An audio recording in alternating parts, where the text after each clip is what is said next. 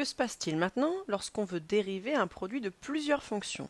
Si par exemple on a la fonction f de x fois g de x fois h de x et qu'on veut dériver cette fonction, on veut trouver la dérivée en fonction de x de tout ça ici.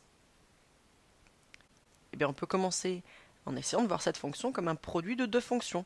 Si on isole g et h, et qu'on imagine cette fonction comme le produit de f de x avec le reste, la dérivée sera alors, comme on l'a vu précédemment, la dérivée en fonction de x de f de x fois g de x h de x plus le produit f de x fois la dérivée de la deuxième partie, donc dérivée en fonction de x, de g de x fois h de x.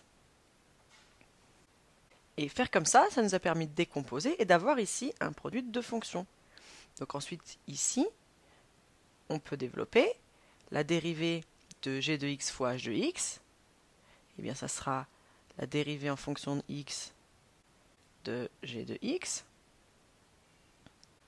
fois h de x plus g de x fois la dérivée en fonction de x de h de x.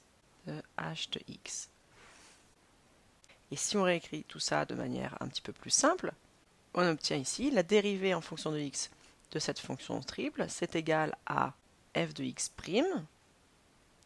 ou f' de x, fois g de x fois h de x, plus, ici on distribue, on a ici décomposé la dérivée de g de x fois h de x en dérivée de g de x fois h de x plus g de x fois dérivée de h de x.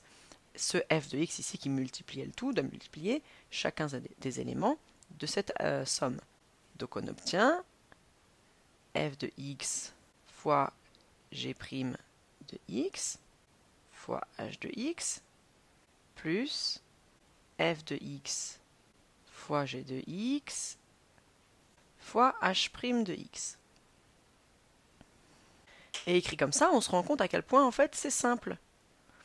La dérivée d'une fonction triple, ça va être une somme de trois éléments, et dans chacun de ces éléments, une des fonctions est dérivée. Tour à tour, on va dériver f, puis g, puis ce sera h. Et cela peut s'appliquer quel que soit le nombre de fonctions euh, qu'on a dans le produit. Ça peut être 4 fonctions, ça peut être n fonctions. On aura n éléments et chaque élément comportera une des fonctions sous forme dérivée. Donc ça, c'est encore un résultat plutôt sympa qui va nous faciliter la vie pour la suite.